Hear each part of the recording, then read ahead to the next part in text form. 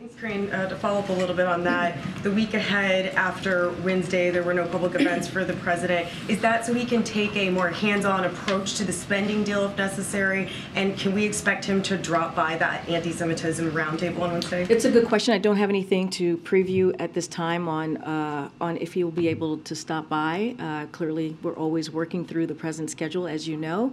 But just to lay out uh, the president's engagement on, on the, as, as we're discussing the government funding uh, uh, bill, look, as you know, he had the Big Four la- here last week in leadership to talk about, they talked about this. You, you saw it in the readout. Uh, He met with, uh, uh, with President Leahy and, and uh, President, pardon me, uh, Senator, Le- Senators Leahy and Shelby uh, to have the discussion about the omnibus bill.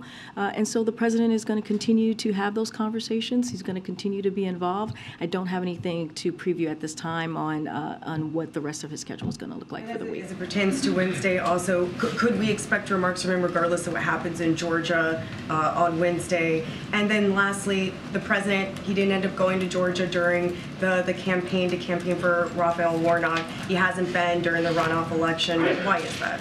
So look, um, I need to be careful, the Hatch Act. Uh, This is an ongoing, uh, as you know, um, uh, election with this particular, what we're seeing, the runoff in, in uh, Georgia. So I want to be really careful here. But I have said many times before at this podium that the president will do anything that, uh, that he can do uh, for Senator Warnock to be helpful to him. As you all have seen on the president's schedule recently, he's done a high volume of fundraising, attended several political events, including phone banks and unions and much, and, and with unions and much more.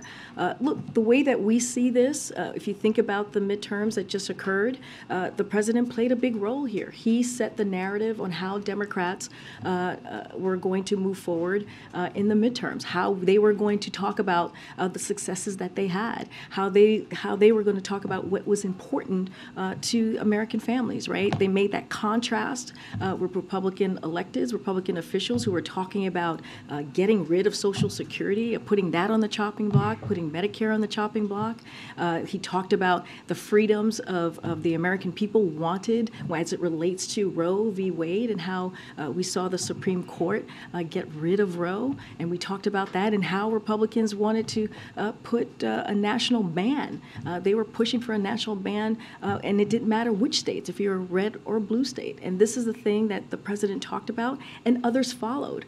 So the president played a big role in setting that narrative, setting that contrast. And let's not forget the successes that we have seen, his economic policy successes, as we talk about the bipartisan infrastructure legislation, uh, the Infl- in, uh, Inflation Reduction Act. Those are the things that the president uh, was able to get done, uh, and Democrats were able to run on it.